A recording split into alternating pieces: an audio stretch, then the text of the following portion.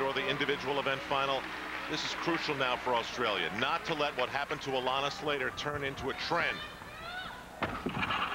Oh, this is bad news. Wow.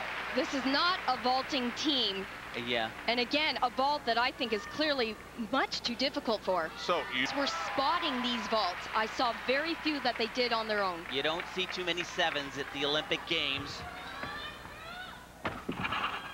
But see, she can. She can do this ball.